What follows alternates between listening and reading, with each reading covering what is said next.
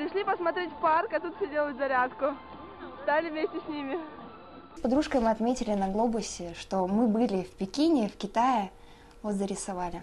Этот отпуск Айгуль запомнит на всю жизнь. Первое самостоятельное путешествие за границу. Объявление нашла в интернете. Горящий тур. Дешево и почти все включено. Заключили договор, оформили визы. Но как только перешли границу, начались сюрпризы. Когда мы приехали в Китай, э, нас встретила переводчица. И она сказала, вы знаете, у вас проблемы. Мы не заказали гостиницу.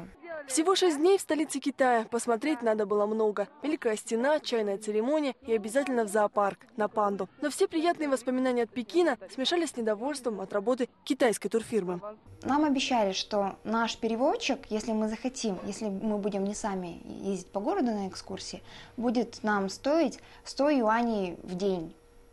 Приехав в Китай, мы позвонили в турагентство в Китае, оказалось, что переводчик стоит 200 юаней. Девушке пришлось вернуться на день раньше, потому что туроператор не рассчитал время прибытия. В день, когда возвращался поезд из Пекина, в Россию уже нельзя было уехать. Там, в Пекине, позвонить туроператору в Россию не удалось. Айгуль воспользовалась интернетом. Написала письмо в турфирму, но ответа так и не последовало.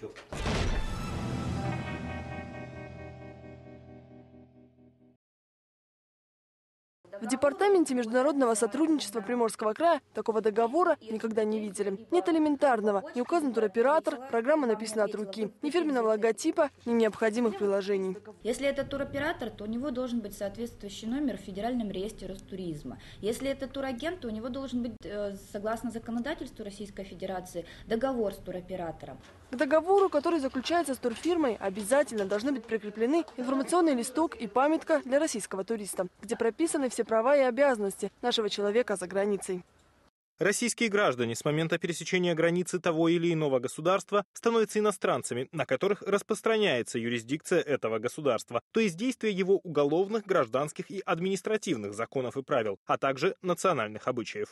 Если, например, недовольны качеством услуг или ненадлежащее исполнение услуг было согласно договора, то э, Турист имеет право в течение 20 дней со дня окончания действия договора подать претензии туристической компании. И туристическая компания в течение 10 дней должна эти претензии рассмотреть. Индивидуальный предприниматель Андрей Фисенко. Цены на туры супер низкие. Обещают организовать ваш отдых по высшему разряду. Претензию по турпутевке в Пекин он принимает чуть ли не с боем. Цирк устраивает. Взрослый человек, полностью привела. Он обещал, что все пройдет без проблем. Везде встретят, доставят и не будет никаких сбоев по программе. Мы писали о всех наших скитаниях, о том, что нам, нас переводчики обманули, о том, что, о том, что они сказали, что вы знаете, что мы Я вернемся. на знакомлюсь, я отвечу письменно. Все турфирмы Приморского края, кто законно осуществляет свою деятельность, есть на сайте turprim.ru. Ни Андрея Фисенко, ни фирмы с названием «Автоколонна» на сайте найти не удалось. Индивидуальный предприниматель говорит, что уже не первый год на туристическом рынке, а вот претензию принимает впервые. Тебе, да? Нет. Вы не знаете законов? Знаю закон. По закону в течение 10 дней вы должны мне дать ответ на эту претензию.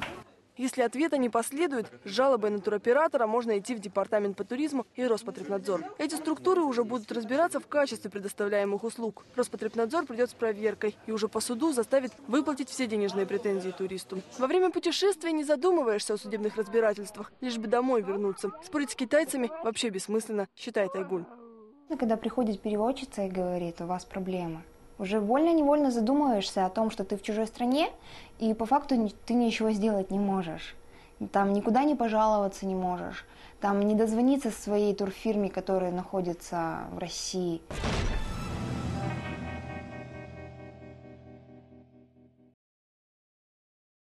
Прошлом году с российскими туристами в различных странах случилось 206 происшествий. 107 человек погибли и около четырех сотен пострадали. Статистика показывает, что русские за границей гибнут чаще других. Первые в черном списке стран – Украина, Таиланд, Турция, Египет, Китай.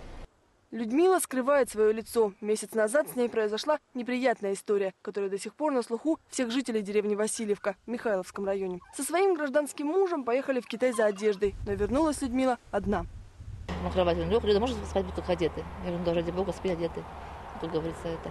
И сумка была у него, получается, через плечо, это, ну, перекинута, получается, на это.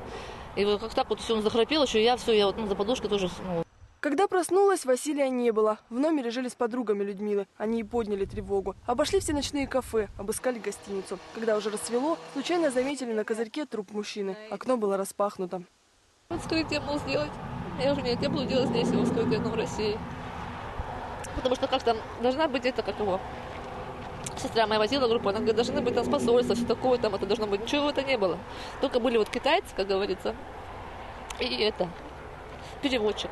В Суйфунхэ есть представительство по безопасности российских туристов. И по всем правилам Людмиле должны были там помочь. Но для нее это была первая поездка. И о существовании такого органа она просто не знала. Переводчиком в полиции был китаец. Женщина подписала все бумаги в шоковом состоянии.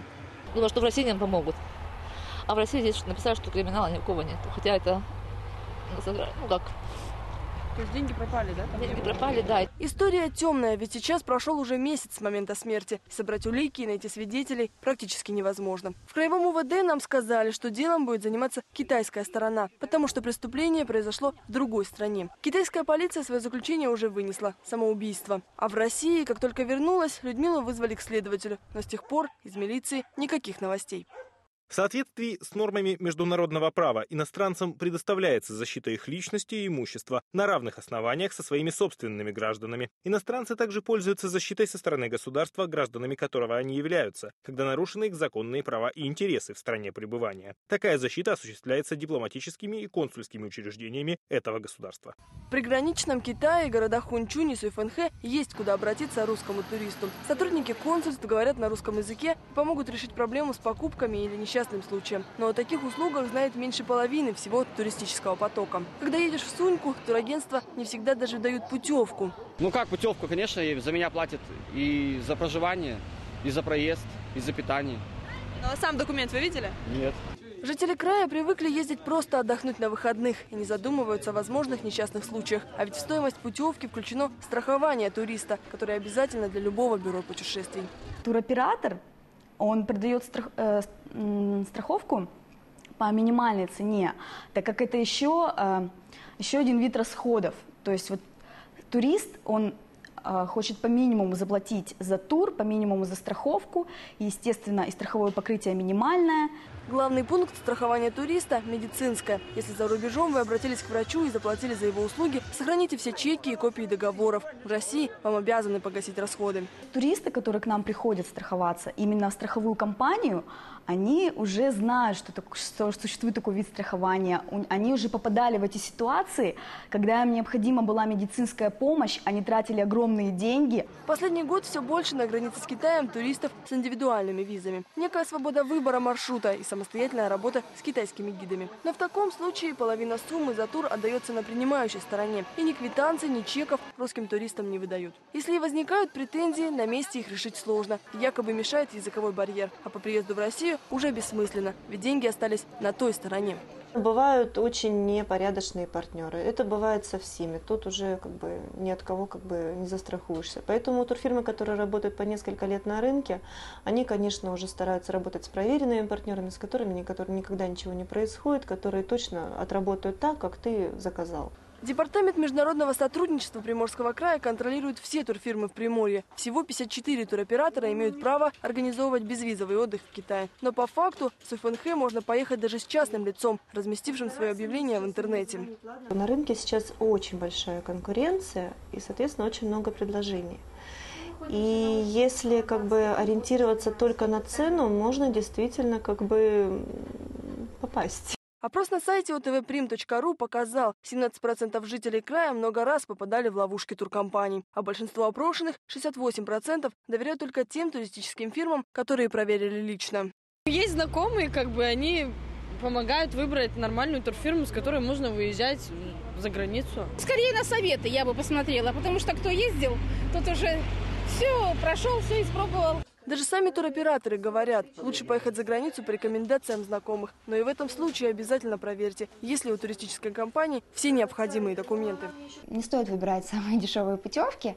Ехать лучше, конечно же, не вдвоем, как мы ездили, и сами ходили на экскурсии, а уже группой. То есть, когда ты ходишь группой, все-таки какая-то защищенность есть. Поехать дикарями или отдать приличную сумму за все включено. Выбор путевки зависит от денежных возможностей, уровня авантюризма и определенной доли бесстрашия. Но в любой стране есть вероятность быть обманутым. Сколько бы турфирма не обещала устроить все по высшему разряду, позаботиться о своем отдыхе стоит еще дома.